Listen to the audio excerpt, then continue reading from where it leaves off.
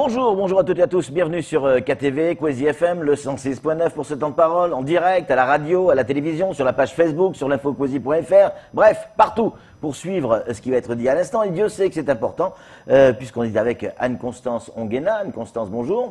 Bonjour Patrick, bonjour Camar. Alors ça y est, euh, le CSA, le gendarme de l'audiovisuel, surveille de près les médias audiovisuels, notamment, euh, parce que euh, il doit y avoir une forme d'égalité ou d'équité. Alors, on ne sait pas très bien ce que ça veut dire, et euh, souvent. Euh, on a des candidats qui nous disent oui, mais euh, euh, il faut que tout le monde soit au même niveau. Voilà, l'égalité doit doit être primordiale. Sauf que on a le sentiment que certains partis politiques peuvent légalement parler plus que d'autres. Un faux ou un tox? Info. Et pourquoi?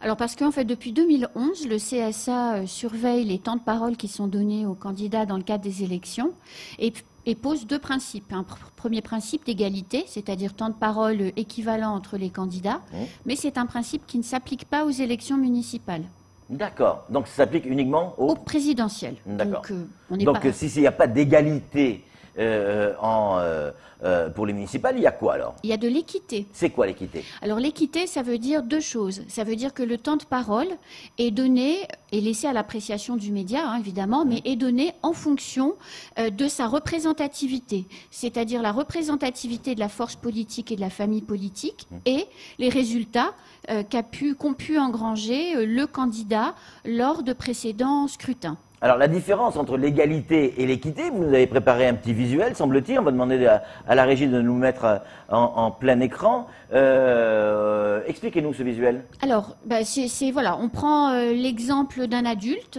Oui, qui est grand, d'un enfant qui a une dizaine d'années, euh, qui est moyen, et on prend l'exemple d'un enfant qui a 3 ans et qui est petit. Ils veulent tous les trois regarder un match, donc là de, de baseball sur, euh, sur l'image, et euh, la palissade est trop élevée. donc le principe d'égalité, c'est qu'on donne à chacun des trois, des trois personnages un banc. Un- le même cube, un même banc, mais le même pour tout le monde. Le ça, c'est l'égalité. Ça, c'est l'égalité. Mais on voit euh, sur cette image que, en donnant le même banc, que le petit garçon, lui, reste toujours trop petit. Le moyen commence à voir effectivement le, euh, le, euh, le match, mais le grand peut le voir parce qu'ils ont le même banc. Alors que l'équité, on va doubler la hauteur du tout petit. Voilà, c'est-à-dire qu'on va tenir compte des caractéristiques et de la personnalité de celui qui cherche à regarder. Donc le grand, en l'occurrence, n'a pas besoin d'aide, Ouais. donc il n'a pas de, de cube. Ouais. Le, le- le personnage qui est moyen, ben, on lui donne un cube moyen, et le petit, on lui en donne deux. Alors, est-ce que ça veut dire, si on, on- on transforme ça en politique, est-ce que ça veut dire qu'un parti politique qui n'a pas beaucoup de moyens ou qui fait pas beaucoup de scores, euh, euh, on va lui donner plus de temps d'antenne? Non, c'est l'inverse. C'est-à-dire que là, c'est un principe d'équité. Le, le- le schéma qui est derrière vous, c'est un principe d'équité dans le domaine social, dans l'éducation, dans tous les thèmes de la vie quotidienne. En revanche, le principe de l'équité, c'est de tenir compte, en politique, pardon, c'est de tenir compte des caractéristiques intrinsèques de la personne et de ne pas les modifier.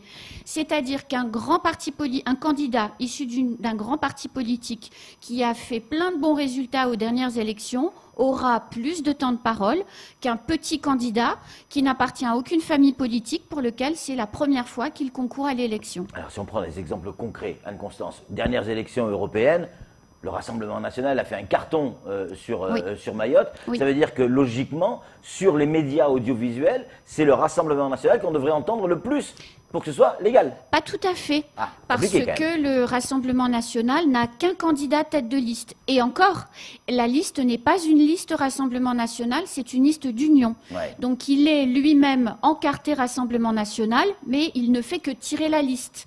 Ce n'est pas une liste qui va être déposée en préfecture avec euh, le logo Rassemblement national. Ouais, donc il faut euh, qu'il y ait une liste avec le logo Rassemblement national pour qu'ils puissent bénéficier de cette règle. Oui. Que dit exactement le CSA euh, dans la, la réglementation sur ces municipales Vous voulez que je vous lise le... Allez, rapidement. Alors, là, ils disent l'appréciation de la notion d'équité se fonde sur la représentativité des candidats, Oui. en particulier les résultats du propre candidat à d'autres élections, Oui. ou de la formation politique qu'il incarne. D'accord. Ah oui, c'est très clair. C'est très clair. C'est très clair. Et deuxièmement, Oui. la capacité à manifester concrètement son implication dans la campagne. Alors ça veut dire quoi ça? Ben, ça veut dire qu'il faut faire campagne, il faut faire euh, des réunions, des débats, des meetings. euh, Ouais. Il faut montrer qu'on est dans une dynamique de campagne. Ouais. Ce qui veut dire également que le, nous n'avons pas le droit, par exemple, de ne pas euh, de ne pas sélectionner, enfin de ne pas inviter ou de nous n'avons pas le droit de, de ne pas faire parler quelqu'un qui n'arrivera pas à déposer sa liste à la fin euh, à la fin en préfecture. Camar Bourrin a une question à vous poser. Ouais, j'ai j'ai envie de revenir un peu dessus. C'est-à-dire qu'aujourd'hui, moi, média, moi, radio, moi, télé, euh, allez, je tombe sur un candidat euh, nouveau en politique, sans étiquette. Oui. Euh, je décide de chronométrer, par exemple, d'habitude, je chronomètre mes temps de parole. Oui. Je lui donne 10 minutes. Euh, mais si demain je reçois un autre candidat d'une famille politique très connue, euh, euh, qui a fait des élections, si je lui donne 15 minutes, je suis dans la légalité. Non, ça doit être proportionnel. Donc euh, non, vous n'êtes pas dans la légalité. En théorie, vous devez lui donner beaucoup plus. Alors combien euh, Tout dépend du temps d'antenne que vous dédiez. Plus que 15 effectivement. minutes, hein. Et plus que 15 minutes, oui, Mhm. forcément. Ouais, ouais, ouais. Donc ça veut dire qu'en fait, euh, euh, dans l'esprit des gens et de ceux qui nous écoutent, qui nous regardent, euh, l'équité, ce n'est pas forcément la même durée de temps de parole. Ah non, pas du tout. L'équité, ce n'est pas la même durée de temps de parole. L'équité, c'est donner un temps de parole qui est, euh, en théorie, représentatif Ouais. de la famille politique du candidat, des résultats obtenus par ce candidat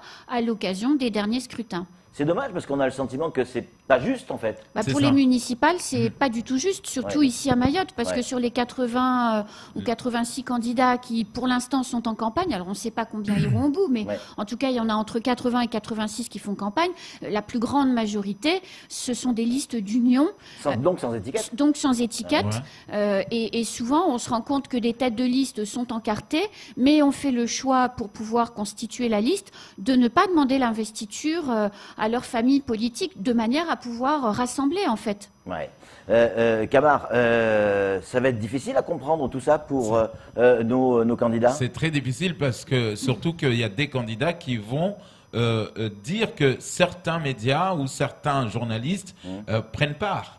Euh, C'est-à-dire qu'aujourd'hui, on va dire euh, encore une fois, ah tiens, Patrick euh, est plus euh, euh, républicain que la RLM, euh, la- la LRM, pardon, parce que j'ai donné plus euh, à un candidat euh, euh, républicain qui est venu, qui a gagné des élections récemment. Donc, est-ce que ça, le candidat qui euh, à qui on va monter la tête comme ça peut porter plainte contre le, le CSA ou dire voilà Non. et moi ils m'ont ils m'ont donné 10 minutes euh, Ah, il a le droit de saisir le CSA. Voilà. Oui, il n'y aura pas de plainte. Il peut saisir le CSA. Le CSA derrière va faire des mises en garde, voire des mises en demeure en Si ça s'avère exact. si ça s'avère exact, en fonction de la disproportion euh, constatée. Euh, mais mais, mais c'est tout. Après, euh, le candidat déçu a le droit de penser euh, que euh, Cohésif fait plus campagne pour l'un ou pour l'autre, mais c'est pas c'est pas c'est pas le cas puisque nous avons des, des tableaux euh, à remplir. Le, Ouais. le travail est encadré, suivi. Enfin, il n'est pas gendarme, le CSA, juste Donc le, sur le- les papiers. chaque média audiovisuel, travail. que ce soit Mayotte Première ou Coésie, euh, a l'obligation d'envoyer toutes les semaines Oui. un compte rendu au CSA. Il, il tient compte de quoi ce compte Alors c'est tous les 15 jours. Pendant six semaines, Ouais. euh, donc à partir de début février jusqu'à la fin euh, du, du scrutin. Euh, il tient compte de, du tête de liste, enfin en tout cas de la liste à laquelle appartient le candidat euh, qui s'exprime, euh, de la commune également, euh, c'est-à-dire qu'il il considère qu'il faut euh, que dans une commune donnée, euh, si on donne la parole à l'un, on doit donner la parole aux autres. Voilà. alors est-ce que si c'est le colistier qui est venu euh, plutôt que le candidat donc quand je remplis mon tableau est-ce que je mets le nom du tête des listes ou plutôt le colistier Non, non, du tête de liste. Tête de liste Oui. Donc en fait, euh, là aussi, c'est un- un- une question très importante que pose Camar. Ça veut dire que la valeur d'un colistier a la même valeur que la tête de liste qui viendra au plateau. Absolument. Pour le CSA, absolument. Ouais. Quel est le risque pour euh, les médias si jamais ils ne respectent pas les règles du, euh, du CSA que vous venez d'e- euh, d'expliquer? Exemple, euh, euh, Coésie ou Mayotte Première décide d'être plus, de jouer plus sur l'égalité que sur l'équité.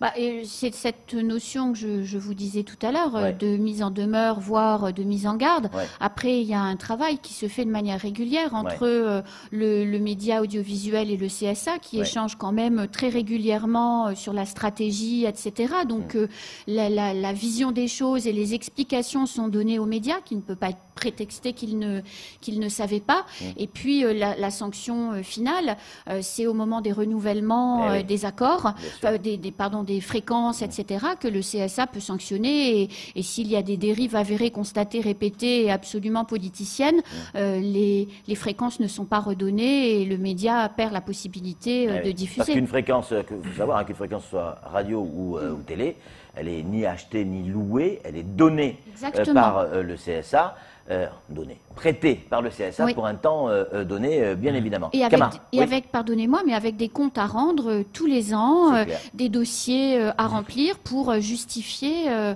de la manière dont les règles sont respectées. Tout à fait. Alors, euh, je- j'aimerais revenir un peu sur euh, les débats.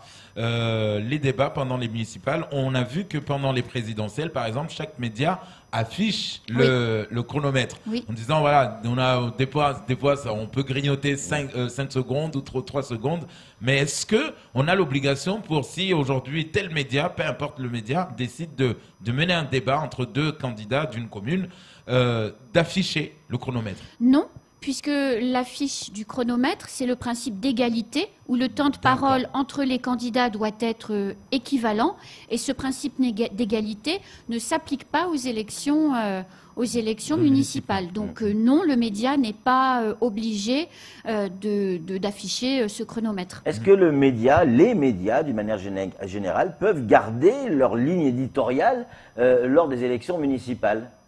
Alors bien sûr, chaque média garde sa ligne éditoriale, sa stratégie, etc. Mais il, il doit être neutre quand il traite l'actualité, puisqu'on dit qu'une campagne électorale, c'est de l'actualité. Donc il doit être juste et traiter euh, l'information de manière neutre, sans parti pris. Ouais. Et ça, c'est pas que pour les élections, c'est de manière générale. Alors il y a, euh, pour conclure, euh, tout ce dont on vient de parler, c'est-à-dire les candidats qui viennent, ou les colistiers qui viennent parler du programme de leur liste euh, sur euh, un média. Et puis il y a euh, dans allez, le journal télé, dans le JT, que ce soit chez nos confrères ou chez nous-mêmes, on va parler, tiens, de la commune de Chirongui, par exemple, parce que c'était- dans l'actualité, l'histoire du cinéma ou du pôle culturel. Très bon exemple. Oui, merci. Je payais très cher pour ça. Non, non, plaisanterie à part. Est-ce que ça, ça doit rentrer dans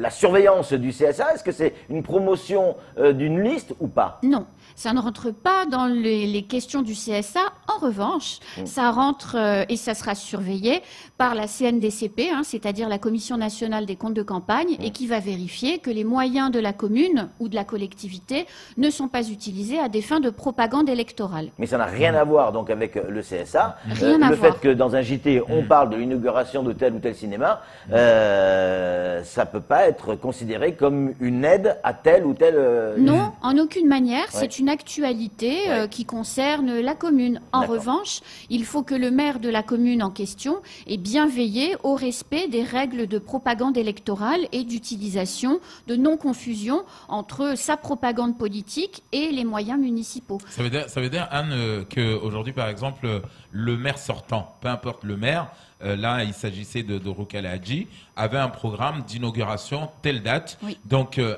mais est-ce que les maires sortants sont privilégiés par rapport aux, aux- aux euh, inaugurations, par rapport euh, Mais aux là, choses on, comme on- ça on sort du contexte CSA là. hein. oui, oui, mais est-ce que non, non, je veux dire, euh, euh, voilà, une fois que il, elle a décidé de, de l'inaugurer là, euh, moi, quand elle vient sur mon plateau en tant que tête de liste, je profite pour lui poser une question par rapport à l'inauguration. Est-ce que là, euh, on reste c'est ça, on reste euh, Bah, elle, est, elle est dans un temps de parole politique dans le cadre des élections municipales. Vous lui parlez de son pôle culturel ou de son cinéma, forcément que ça entre Ouais. en ligne de compte dans le temps de parole qui est euh, comptabilisé par le CSA. En revanche, s'agissant de cette commune, euh, Madame le maire de Chirongui a depuis euh, 2010, 10, 11 à peu près, euh, inauguré des tas de choses. Ouais. Donc il n'y a pas de confusion entre les moyens de la commune et euh, sa Même campagne si électorale. Même si personne n'est dupe. Même si personne n'est dupe. Et bien évidemment euh, qu'un maire sortant est beaucoup plus favorisé euh, qu'un candidat qui n'est pas maire, puisque forcément il a des choses à dire. Alors évidemment, il faut avoir un bon bilan, parce que quand on n'a rien fait pendant six ans, c'est compliqué. Euh, Anne-Constance, pour conclure, je suis candidat sur une liste, colistier ou tête de liste. J'estime que je suis lésé par tel ou tel média audiovisuel. Comment je dois procéder Je m'adresse à qui Eh ben, vous allez sur le site du CSA, euh, sur à partir d'Internet, et vous avez des petites rubriques euh, signaler un problème, euh, et donc vous remplissez un espèce de dossier rapide, donc mm. qui vous identifie, qui vous permet d'expliquer la situation, et hop, c'est envoyé, et vous avez une réponse, et votre votre question est, traitée.